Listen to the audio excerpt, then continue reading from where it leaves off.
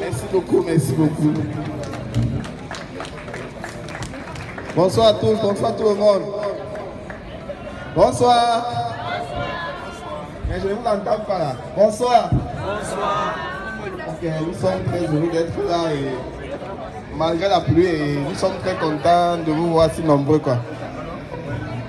Alors, nous venons de jouer une composition de moi-même qui s'intitule Step Forward. Et nous allons suivre avec une deuxième qui s'intitule So Good. Merci d'écouter.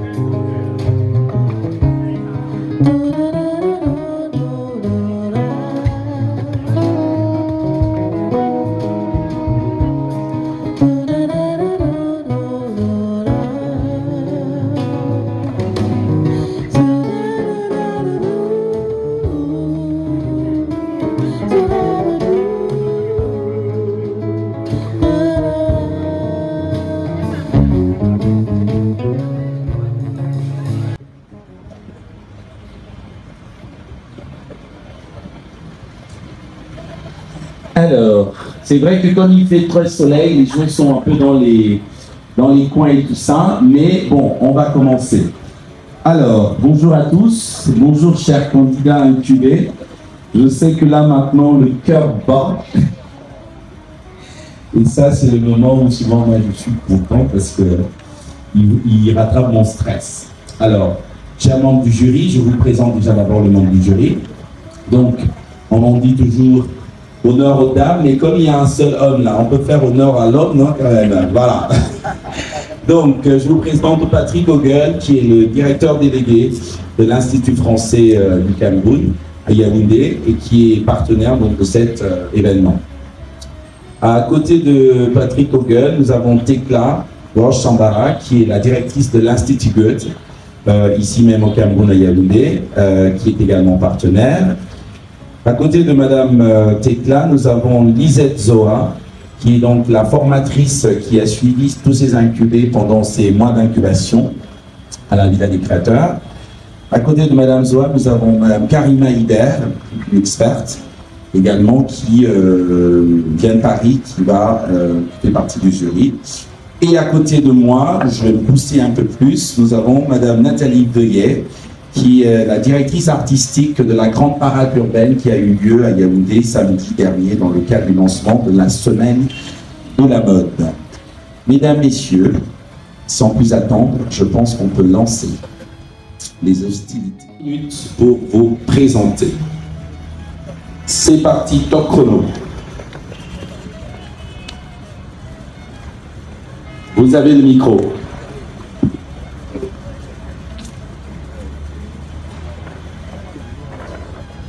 Bonjour, chers membres du jury. Recevez mes salutations. Alors, nous sommes deux jeunes créateurs. Allez. Prenez votre temps et respirez, les enfants. Alors, nous sommes deux jeunes fondateurs d'une structure créative appelée Afrocréma qui rend des services dans plusieurs domaines artistiques, notamment la coiffure, le stylisme, la direction artistique, le maquillage et la scénographie. C'est un énorme plaisir pour nous aujourd'hui d'être devant vous pour parler de notre projet qui est porté sur la valorisation de la culture camerounaise et du savoir-faire camerounais. Bonjour encore, une fois de plus. Donc, euh, vous allez vraiment excuser mon ami, il est ému de vous voir aujourd'hui. On va vous présenter en quelques mots, vraiment en trois minutes, notre projet. Et notre projet s'intitule Essence. Vous savez, le, thème de cette année, c'est vraiment, euh, dit c'est le thème qu'il nous fallait pour vraiment montrer qu'il est important de, partager la culture de notre pays, de notre continent. Le thème de cette année, donc, était la mode sans frontières. Nous attendons par là justement le partage culturel. Vous savez, aujourd'hui, nous sommes à l'ère du partage. Il faudrait que justement la femme européenne se sente contente, se sente belle dans une mode Made in Cameroun. Donc notre projet s'intitule Essence et dans notre projet, on voit deux plans principaux, à savoir le vestimentaire et la coiffure. Vous savez, aujourd'hui, on a toujours qualifié la mode africaine comme une mode folklorique, une mode essentiellement basée sur du wax ou bien destinée uniquement aux Africains nous voulons mettre sur pied justement ce projet. Ça va commencer déjà par le vestimentaire, vous savez projet professionnel, on doit pouvoir encourager euh, correctement. Mhm. Donc c'est quoi le projet professionnel après ce temps fort de la semaine de la mode 2023 Merci. Euh, en fait, nous avons préparé justement notre projet qu'on peut vous soumettre là. Le but, c'est de vraiment avoir, on a toujours rêvé d'avoir nos locaux nos locaux. Pourquoi? Parce qu'on travaille avec des jeunes et on aimerait justement être dans des processus de création. Donc là, c'est justement un film projet de notre petit salon de coiffure, on va dire comme ça, où on va uniquement euh, voilà, créer, former et euh, voilà, créer nos, nos, nos, créations, nos coiffures, on va dire comme ça. Une euh, petite dernière question, jury? Lisette? Déjà, félicitations les garçons. Merci. Euh, j'ai une petite préoccupation en ce qui concerne la production de vos vêtements, étant donné que vous ne cuisez pas. Mhm. Donc, quelles sont les difficultés que vous avez rencontrées pour ne serait-ce que produire cette collection Alors, c'est vrai. C'est vrai qu'on ne coupe pas, euh, il faut le dire, et c'était un petit peu la partie la plus difficile parce que euh, suivre le, le, le, le processus de, de, création était un petit peu difficile. C'est-à-dire qu'on a eu à faire des dessins, à dessiner, et puis quand on est allé donner euh, au créateur, au couturier, je veux dire, il fallait suivre le travail. Parfois, on n'était pas assez content du résultat, il fallait recommencer. Je pense que c'est l'idéal parce que au, lors de la formation, justement, on nous a fait comprendre qu'on euh, peut, on peut même être amené à ne pas coudre mais il faut être capable de suivre euh, le, processus de création. Donc on a vérifié avec euh, les couturiers, c'est vrai qu'à un moment donné il y avait des problèmes, mais on a pu s'entendre. Moi je dis aussi que c'est aussi ça, euh, cette, cette, démarche qu'il faudrait mettre sur pied. C'est-à-dire que travailler avec des créateurs, travailler avec des stylistes, travailler avec des modélistes, sans toutefois être modéliste d'ailleurs. Madame Imelda, si vous êtes prête, Vous avez trois minutes de présentation. Merci. Bonjour à tous, bonjour chers membres du jury. Euh, avant, de commencer, avant de commencer, je tiens d'abord à présenter mes excuses à M. Arnaud, M. Aminou, Mme Lisette et M. Yves pour n'avoir pas présenté la collection telle que je voulais pour des raisons personnelles. Bon, déjà, ma collection contient euh, le titre de cette année, c'est Mode sans frontières. Et pour moi, Mode sans frontières, c'est voyager à travers les matières et, les différents tissus qu'on a en Afrique et en Europe. Du coup, pour moi, j'ai choisi la, soie, qui est une matière très difficile à travailler. Ça a été vraiment une expérience bien pour moi parce que la soie n'était pas facile. La soie, c'est un tissu qui n'est pas très obéissant. Et j'ai mélangé la soie et le coton, qui est une matière africaine que j'ai utilisée dans presque toute ma collection. Voilà. Et pour euh, mon projet, il y a des, je des jeunes sœurs qui sortent de Bamenda plus particulièrement, qui arrivent ici à Yaoundé, qui n'ont rien, qui ont presque tout perdu. Mon projet, c'est de leur de créer une formation pendant un an divisé en deux, en deux parties. Six mois de formation gratuite et après six mois, je peux les employer si je, enfin, je peux les employer dans mon atelier et puis elles vont travailler pour remplacer les six mois de formation gratuite. Donc voilà un peu. Merci. Voilà. Un, un point peut-être important pour nous pour mesurer votre, euh, votre projet professionnel. Euh, à quelle clientèle vous souhaitez vous adresser et quel est le prix moyen d'un de vos modèles? Bon, les modèles que je fais, c'est à partir de, de 10 000, 25 000. Et puis la clientèle ciblée, c'est des jeunes filles et des, des dames. Et aussi des femmes. De même, je suis incubée euh, au CCMC pour cette édition pour présenter euh, au finish ma collection de, vêtements enfants. Partant vraiment de l'idée du dessin animé, de la broderie pour euh, faire ressortir l'effet africain, tout en jouant sur les couleurs pour garder l'aspect brillant, puisque l'enfant c'est ça la couleur, tout ce qui brille, tout ce qui est illuminé, tout ce qui frappe. Bon, le grand thème ici est euh, mode, mode sans frontières. Et moi, particulièrement, étant donné que le, les vêtements enfants doivent frapper et tout et tout, je me suis euh, approprié cela avec le terme soleil. Mais je leur dirais que c'est dans le cadre du CCMC, bien que ce ne ah, soit pas légal. en prison, hein. Nous, c'est pas CCMC, hein. Mais, non, non, non, non. mais, mais je crois qu'on travaillerait mieux ce côté euh, par la suite. Parce que c'est très pertinent. Alors moi je complète juste en disant que effectivement la question de Madame euh, Tecla est très importante parce que c'est vrai que vous êtes face à un droit à l'image. Et maintenant, euh, c'est vrai que s'il y a un problème, eh ben, CCMC n'est pas garant de, de votre collection. Hein Très bien. On est d'accord. Mesdames, question Vous pouvez vous approcher aussi hein, pour mieux voir. Lisette, euh, Karima. Au niveau des statures, euh, vous n'avez pas présenté euh, la mode enfant, les particularités de la mode enfant pour les tailles, etc. Euh, D'accord, merci pour la question.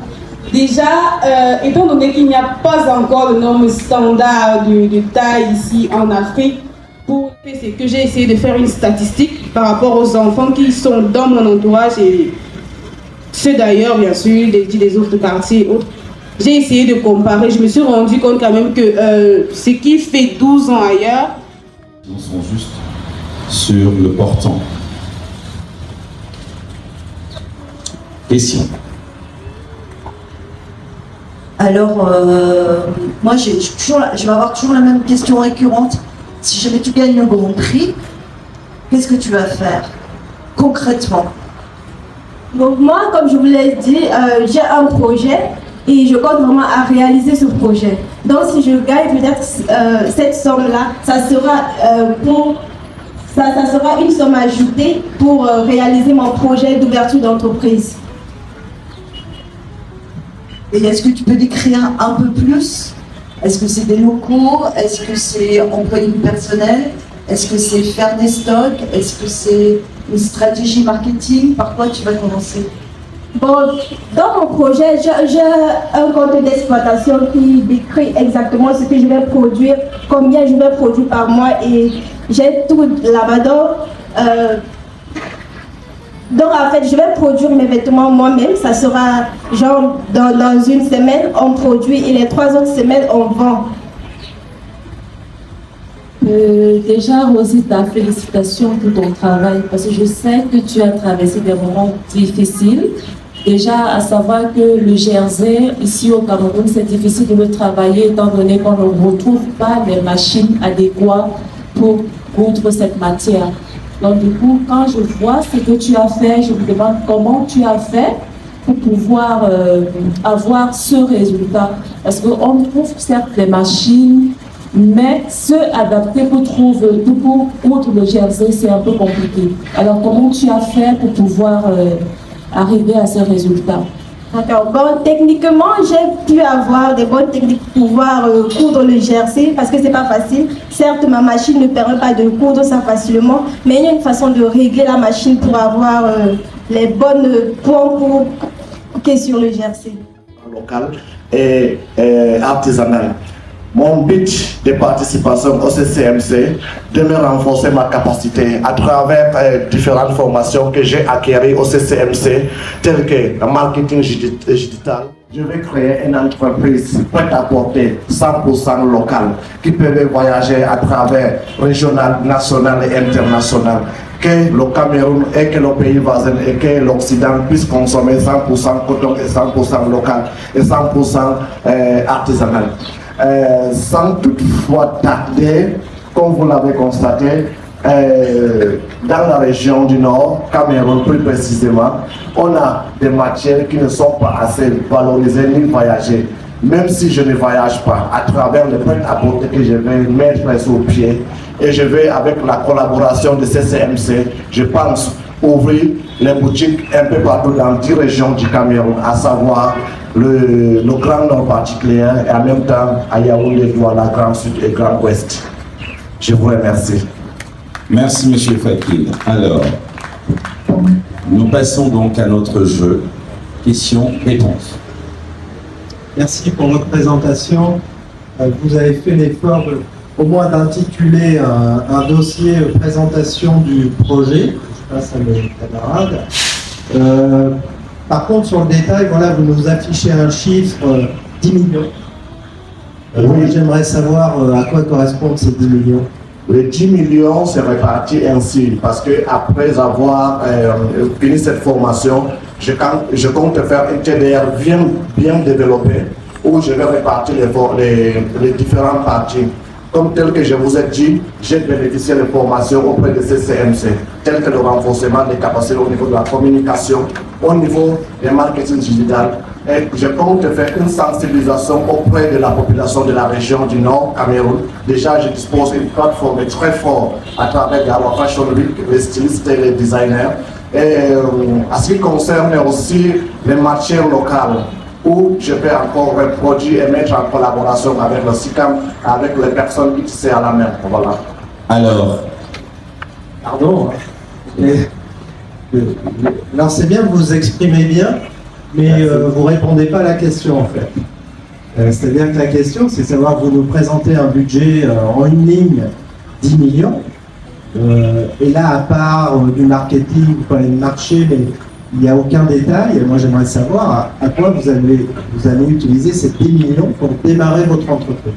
Déjà, pour démarrer avec ces 10 millions, je vais d'abord commencer par l'achat des matières premières, telles que les machines, parce que déjà, on n'a pas de machines en béton, surtout pour le costume. Je vais aussi acheter euh, euh, des matières euh, à finition pour les, différentes tenues. Et je vais aussi mettre des experts à ma disposition pour renforcer la capacité de personnel avec lequel je travaille. Parce que j'ai déjà cinq personnels avec lesquels je travaille auprès de mon entreprise. Parfait. Donc en gros, pour répondre à la question, c'est que ces 10 millions sont répartis. C'est ce que vous voulez dire. Oh oui. Est-ce que ça va? Satisfait? Très bien.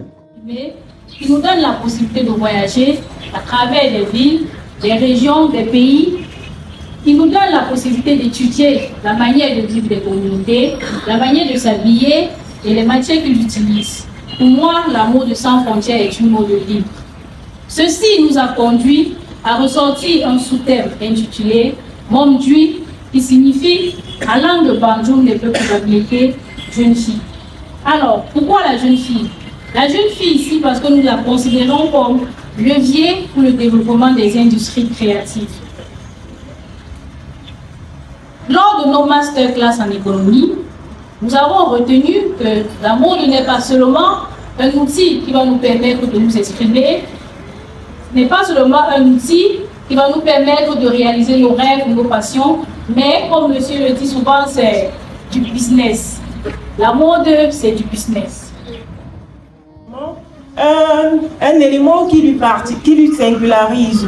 Et en tant que créateur, je me suis inspiré de l'art architectural du peuple Dembélé d'Afrique du Sud et des signes et symboles socioculturels du, de, de, de l'Ouest Cameroun pour proposer un style vestimentaire afro-chic. Mon objectif est de, mettre sur la laine, d'apporter au coton une texture particulière et unique qui, est, euh, qui se représente des signes et symboles socioculturels de notre pays, tels que les formes géométriques et qui renferment également des couleurs, des couleurs bien remarquables telles que ce que je porte sur moi. Chers membres du jury, mon objectif spécifique est également de promouvoir un savoir-faire local dans l'optique d'apprendre à jeunes Camerounais à, profiter des, des possibilités qu'offre la mode camerounaise de nos jours. Ayant reçu, chers membres du jury, une formation en gestion et organisation d'entreprise au CCMC, j'ai pu, à travers, euh, pu, à travers cette étude, sortir, euh, sortir le chiffre d'affaires de mon projet qui s'élève aujourd'hui à 38 millions 520 000 et une charge annuelle de 25 millions 726 000 pour un bénéfice de 12 millions 720 792 000 l'année. Je n'ai pas fait une école de mode et je n'ai pas encore une équipe fixe. Nous travaillons à trois. Moi, euh, un styliste, une infographe. Et un agent marketing qui de temps en temps nous, nous aide à faire la communication. Moi, je n'ai pas encore une entreprise euh, établie. Oui, c'est clair. Euh, je n'ai pas tout à fait capté votre vision personnelle de votre mode que vous voulez offrir. Donc peut-être vous pouvez approfondir encore un peu plus. Oui, merci, membre du jury. Ma vision de la mode, pour moi, en fait, la mode, c'est un partage, c'est un échange, c'est ce brassage culturel entre les cultures. Donc, j'aimerais donc montrer aux uns et aux autres qu'à travers la mode, on peut aller au-delà des frontières. Raison pour laquelle on soutient cette diversité culturelle. Pour montrer que je peux être en Afrique et transporter la mode même en Europe et, et vice-versa.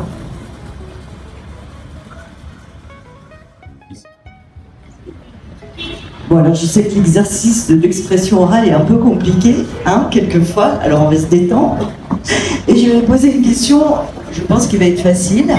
C'est qui porte ces jolies robes. Toutes les dames peuvent porter cette jolie robe. Maintenant, ça dépend de l'occasion. Elles peuvent aller avec ça à une soirée, tapis rouge, monter des marches. Vous êtes très bleu et vert, monsieur Tim. Merci. Question. Madame Karima.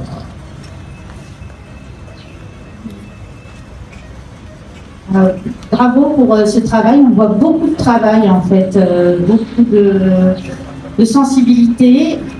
Et je voulais savoir si depuis combien de temps vous travaillez ou si vous êtes aidé également, combien de personnes travaillent avec vous? Parce que tous ces plissages là, ça me semble impossible à faire pour moi? Déjà, déjà, je suis autodidacte à la base. Je viens d'une famille de couturiers. Depuis, je suis un petit semi-professionnel depuis trois ans. Et sinon, j'ai fait la toute ma vie.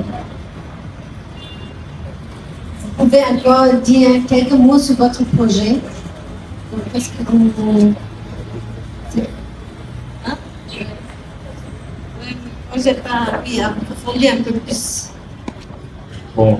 Tu peux nous approfondir ton projet d'entreprise? Qu'est-ce que tu veux faire? Quand moi j'ai parlé de- d'être un, un levier de développement économique et d'employer les jeunes, si moi je suis lauréat, je vais ouvrir une boutique qui pourra employer les jeunes, qui pourra former et employer les jeunes. Une mode qui peut être portée par tout continent, toute religion et toute personne. Donc, à travers ce thème, j'ai pu travailler avec cette matière, autre que les matières que j'ai l'habitude de- de- d'utiliser, comme le wax. Je vous ai dit au départ que moi, habituellement, je travaillais sur des matières locaux telles que le wax, le coton. Et là, j'ai voulu aller au-delà en présentant des vêtements, en évitant de mettre du wax. Merci, Madame Issoba. Merci à vous. Chers membres du jury, question-réponse. Euh, J'ai une petite question parce que je vois le, le modèle blanc là sur le portant et aussi euh, euh, le modèle, j'imagine que c'est Picasso.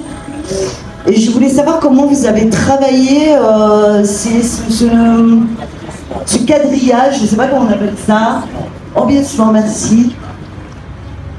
J'ai fait un tissage. Donc, qu'est-ce que j'ai fait? J'ai fait des bandes de tissu et ensuite, je les ai tissées. Donc, fait une sorte de damier. Et pour le Picasso, j'ai plaqué. Donc, j'ai euh, pris un tissu autre que le lin, dans le coton. J'ai taillé des losanges et je les ai plaqués sur le lin. Question pour Madame Isomba. Dans votre projet Business Plan, vous avez écrit que vous voulez ouvrir une boutique à 100 000 hein? Oui. Euh, je ne sais pas combien d'habitants euh, ont cette petite ville. Pourquoi ce choix Parce que en fait, j'ai un peu parcouru. euh, pour- pourquoi Parce que l'achat aussi, le pouvoir d'achat, c'est aussi assez limité dans les petites villes. Donc, quelle est encore votre réflexion là derrière? Pourquoi la ville de San Lima Merci beaucoup, membre du jury, pour cette question. Pourquoi la ville de San Lima Tout d'abord parce que c'est ma ville d'adoption. Donc, je suis Audi et Somba, mais je suis épouse d'un quelqu'un du Sud. Résidente à Garoua, certes, mais je projette m'installer à San Lima. Et pourquoi cette ville de San Mélima Parce que j'ai constaté qu'à San Mélima, il y a beaucoup de potentiel, beaucoup de jeunes filles qui sont riches dans l'art, mais qui n'ont pas cette possibilité d'aller dans les grandes villes telles que le centre, telles que le littoral, pour se perfectionner. Donc moi, j'ai décidé d'ouvrir ma boutique, mon atelier boutique. Pourquoi atelier boutique? Parce que je souhaiterais à l'arrière, en tant qu'éducatrice, former ces jeunes filles, leur euh, transmettre ce que moi j'ai pu apprendre au CCMC durant ces quelques mois, et en même temps, à l'avant, présenter la boutique où je pourrais exposer mes vêtements et aussi montrer au monde entier le travail que ces jeunes filles ont pu apporter. Oui. Et ça, c'est le point de vue éducatif et intégration dans, le- dans- dans la profession. Oui, Maintenant, la question de, de vente, parce qu'après euh, tout, il faut quand même vivre aussi de son business. Donc, quelle est là votre vision Ça. Ma vision est telle que, en ce moment, depuis euh, 2021, je me suis lancée dans la vente euh, en ligne. Donc, je fais du prêt-à-porter. Parce que, installée à Garoua, la mode à Garoua, si vous vous, renseignez auprès des, des gens qui y vivent, les gens du Nord, la mode n'est pas très valorisée au Nord. Donc, euh, pour vivre de cet art, j'ai été obligée de me lancer dans le prêt-à-porter. Certes, prendre les richesses que me présente cette euh, région qui est le Nord, parce qu'elle en a beaucoup, et le faire voyager au centre, particulièrement au littoral, et aussi à l'étranger. Donc je voudrais, excusez-moi s'il vous plaît, je voudrais poursuivre dans cette voie, donc avoir un lieu fixe, mais faire voyager tous ces vêtements. Merci, votre dossier est, très bien présenté. Merci. Euh, il me semble toutefois que vous prévoyez un chiffre d'affaires de 6 millions. Ces différents modèles qui sont certes très créatifs, et je ne vois pas de ligne là comme ça. Peut-être j'avais demain au défilé, mais comme jury, c'est maintenant.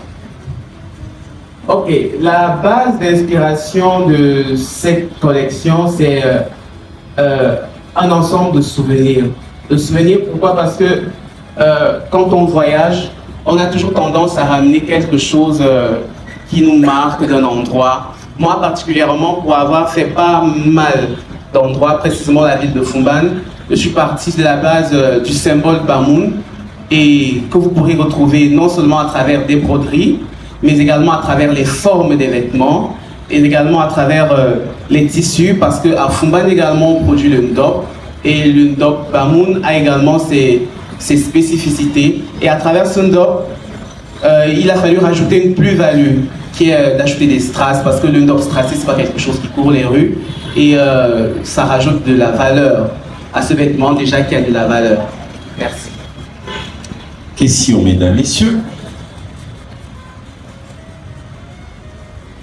Question, Oui, merci. Euh, euh, j'avais en fait la même euh, question que, Nathalie. Hein. C'est vrai que j'ai du mal à voir le, lien. Pourquoi vous avez choisi opter pour la couleur rose et en fait les, environnements Parce que le fleur, ça peut être toutes les couleurs. Bon, la couleur rose, je dirais que bon, la rose, tout le monde aime. Ça exprime l'amour. Moi, comme moi, je suis amoureux. Ça exprime l'amour. Pour moi, d'abord, premièrement.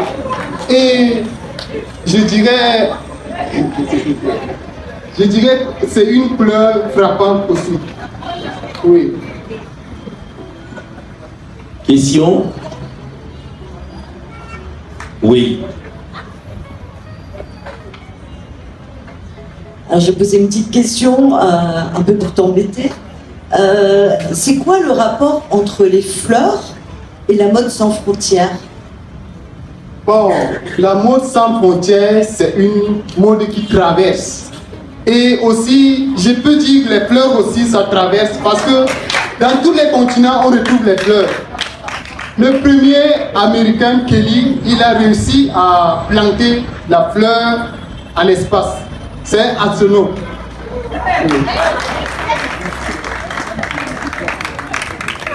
Question, réponse.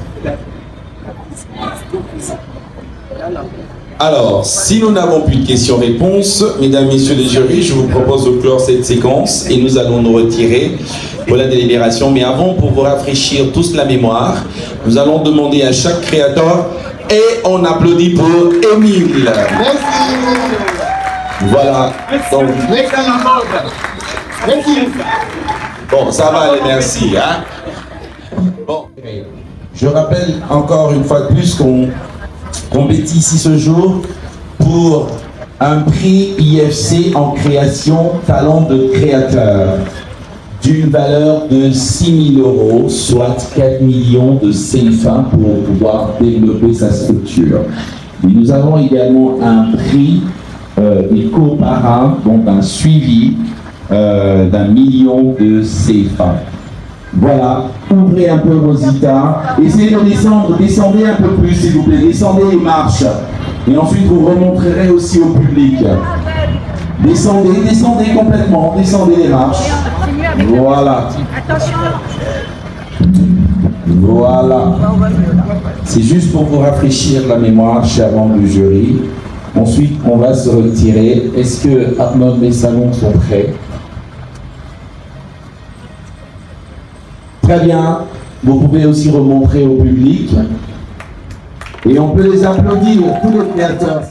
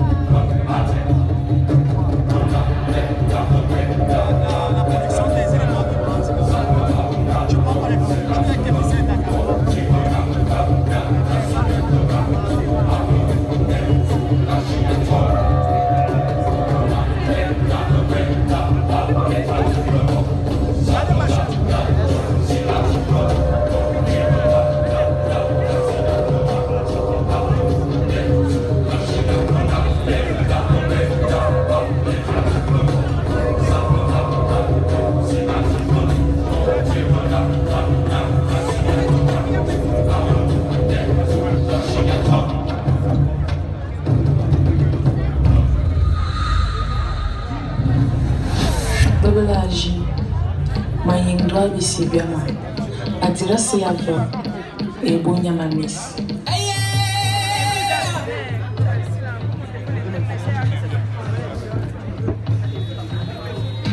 mayenzi enyelo mayayongdui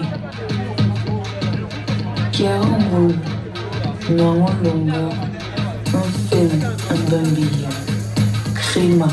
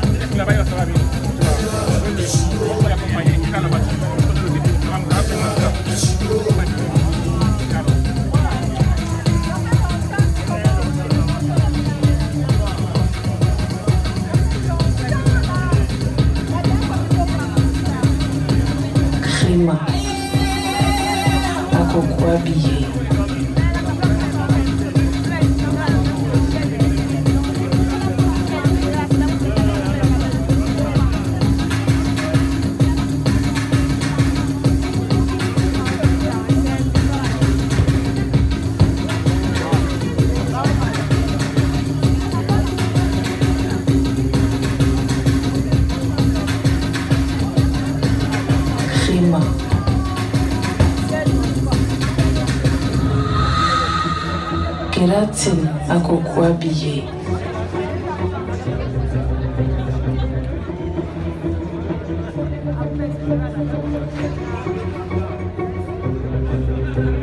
Africa Emiko. Kerati, Kerati, Kerati, Kerati.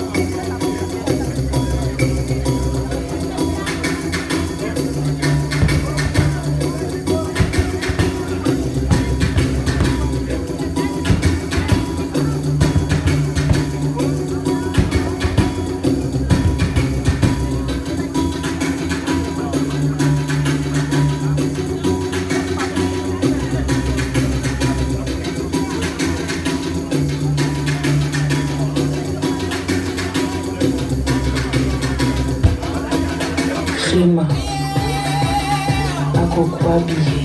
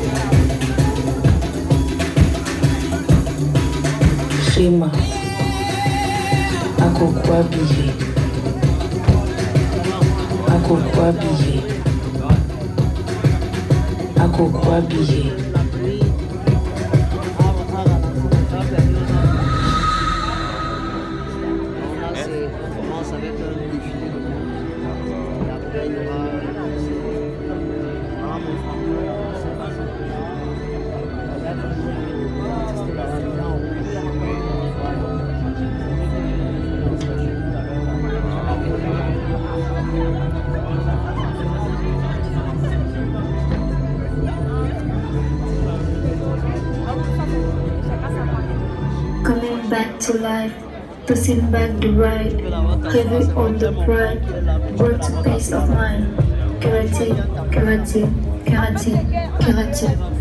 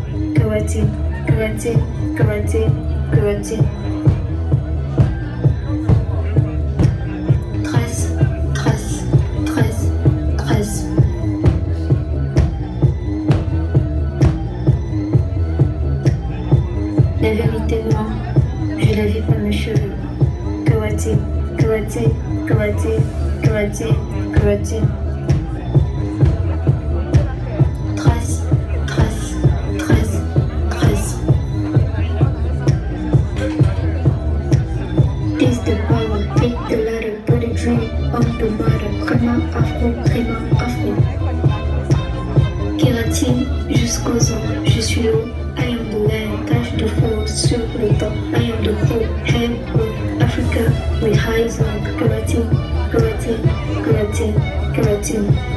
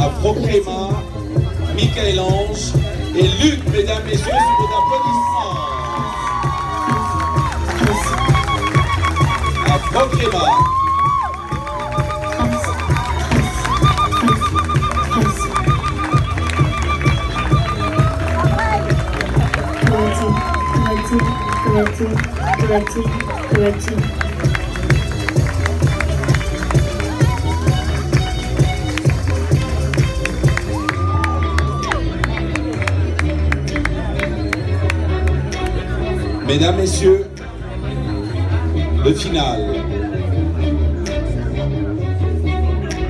Ensuite, nous aurons place au concert. Bonne soirée. Babalaji, maying dwa bisibiama, adira seyava, ebonya mamis.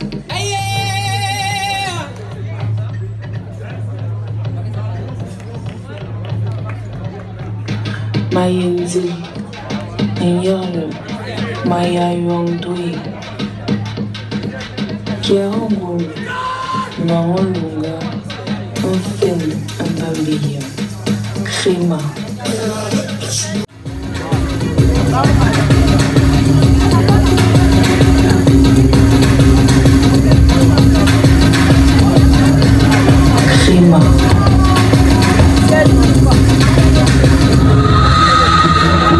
latin akɔkɔa bi yie